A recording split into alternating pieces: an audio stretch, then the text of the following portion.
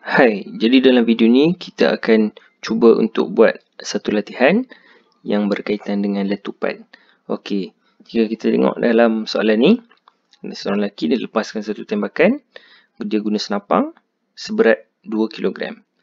Dan peluru yang keluar tu adalah 40 gram dan ia bergerak sebanyak 100 meter per saat selepas tembakan. Jadi, kita nak tahu berapakah halaju senapang itu diterus sentak selepas tembakan.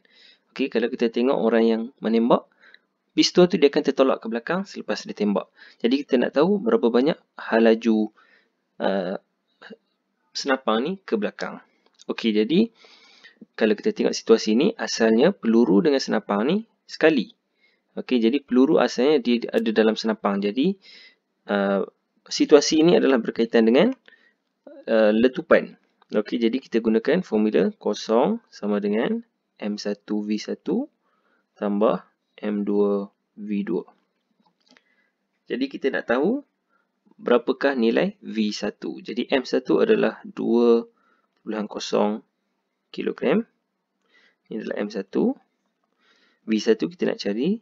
M2 adalah 40 gram. Okey, 40 gram kita perlu tukar kepada kilogram. Jadi cara nak tukar 40 gram darab dengan kilo sebab kita nak jadikan kilo. Jadi kilo nilai dia adalah 1000, kita bahagi dengan 1000. Jadi kita dapat 40 bahagi 1000 kilogram. Jadi ia adalah 0.04 kilogram. Okey, ini untuk M2.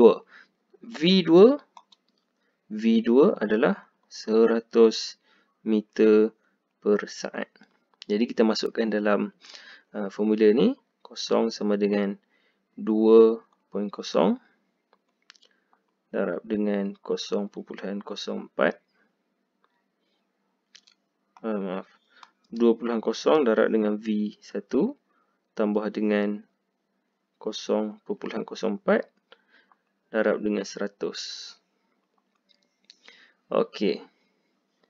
Jadi kita selesaikan 2V1 tambah dengan 100 darab 0.04 kita akan dapat 4 uh, 4. Okey jadi 2V1 bersamaan dengan negatif 4. Jadi V1 adalah negatif 2 meter per saat. Okey ataupun 2 negatif 2 negatif 2 meter saat kuasa negatif 1. Okey, jadi kalau kita lihat pada situasi ini, lepas saja orang ini tembak, dia bergerak ke belakang sebanyak 2 meter per saat. Negatif ini membawa maksud dia bergerak ke kiri ataupun ke belakang. Okey. Jadi, setakat ini untuk video letupan. Untuk video seterusnya, cikgu akan masuk pula berkaitan dengan uh, daya dan pergerakan.